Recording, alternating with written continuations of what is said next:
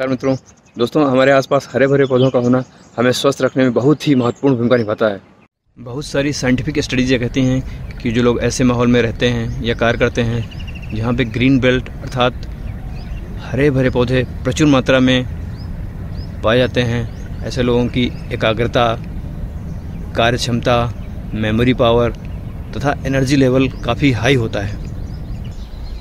ऐसे लोगों का मानसिक स्वास्थ्य भी काफ़ी अच्छा होता है और उनमें चिंता तनाव क्रोध तथा अन्य प्रकार के मानसिक अवसाद भी काफ़ी कम देखने को मिलते हैं।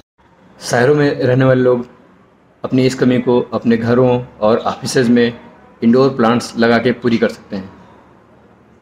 या फिर अपने आसपास की ग्रीन बेल्ट पे अक्सर सैर के लिए जा सकते हैं। इसी सिलसिले में हम अपने परिवार के साथ बहराइच स्थित कतरनिया घाट के जंगलों में सैर के लिए निकले और वहाँ के जंगलों का प्राकृतिक सौंदर्य अपने कैमरे में कैद किया।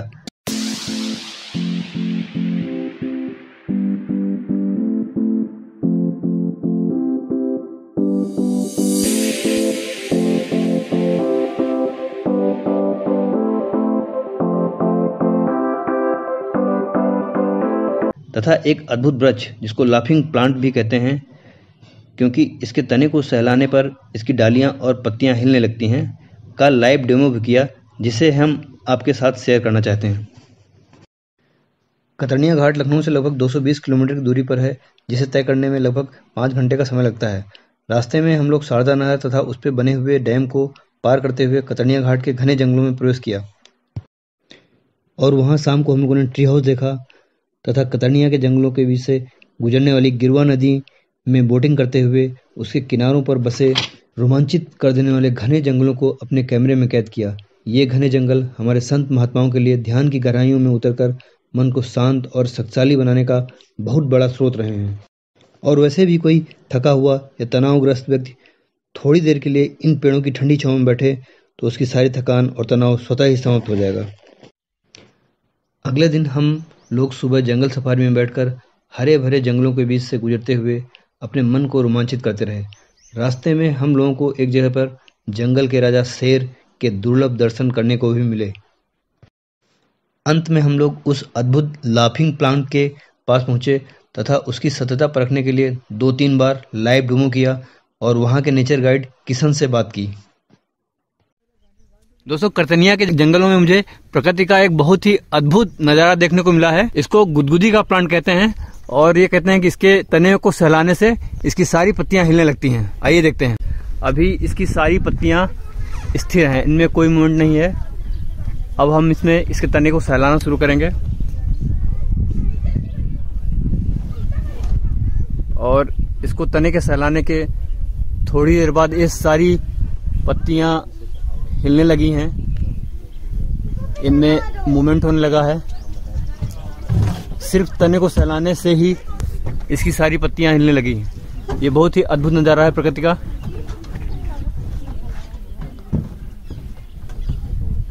अब इसको तने को सहलाना हम बंद करेंगे।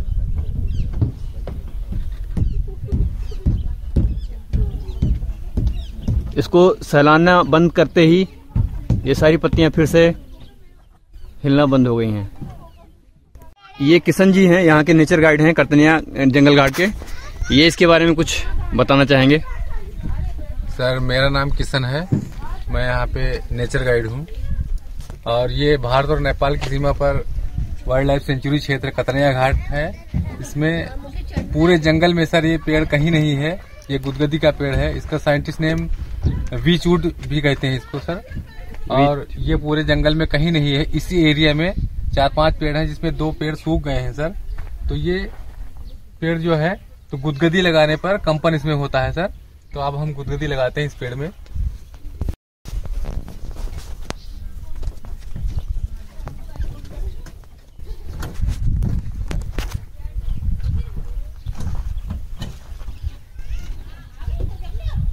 ये देखिए, सिर्फ़ गुदगुदी लगाने से ही सारी पत्तियाँ हिल रही हैं। यहाँ से गुदगुदी लगा रहे हैं किशन जी।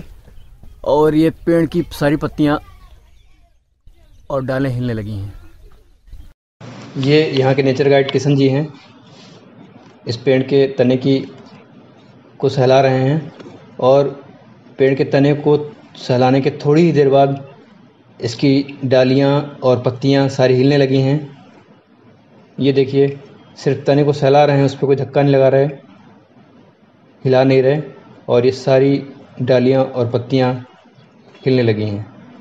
अब ये तने को सहलाना बंद करेंगे। तने को सलाना बंद करने के थोड़ी ही देर बाद ये पत्तियाँ और डालियाँ सारी फिर से स्थिर हो गई हैं। बहुत ही अद्भुत नज़ारा है प्रकृति का ये।